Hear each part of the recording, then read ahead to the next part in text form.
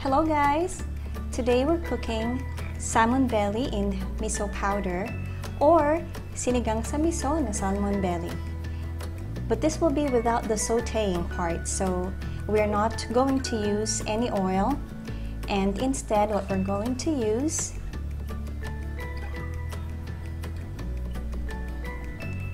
is our rice cooker. So this is going to be a one pot meal have your salmon belly ready.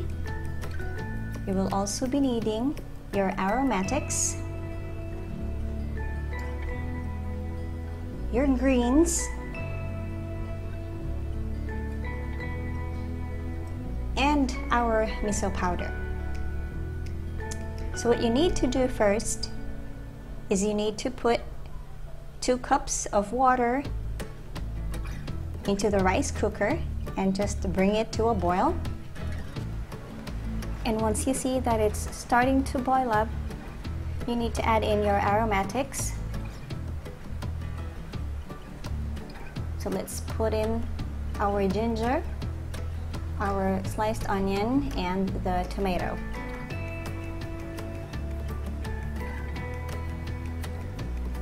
Just uh, put the lid back on and bring it to a boil. Okay, so you can see right here that they are boiling.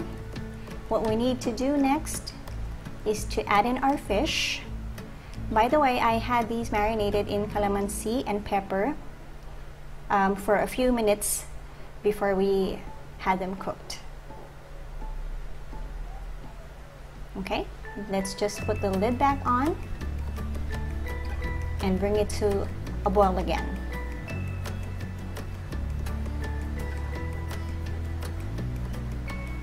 Now we're ready to add in our miso powder. I personally like to use sinigang sa miso powder for any fish recipe instead of, you know, the other sinigang mix that we know, like the gabi and the classic one. I, I think the miso is best for fish. Let's just uh, mix that a bit there. And then you can add in your greens I'm using pechay, but if you would like to use um, like kangkong or spinach or bok choy or what have you, that would be totally fine.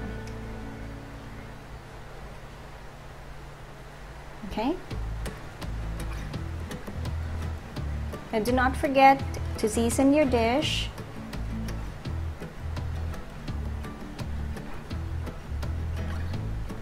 So let's put in our pepper and our salt.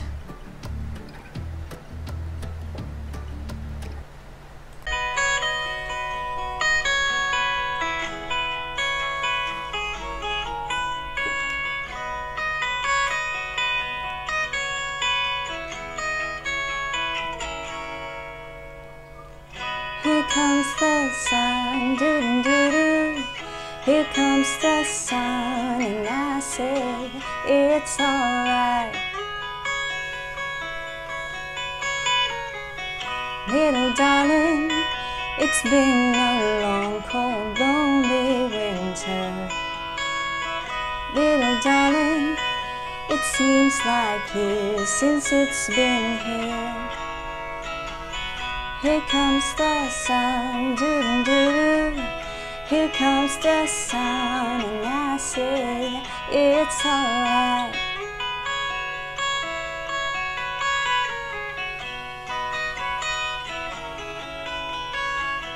Little darling, the smiles returning to their faces.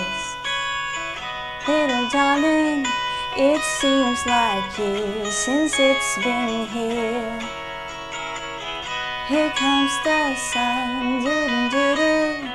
Here comes the sun, and I say it's alright.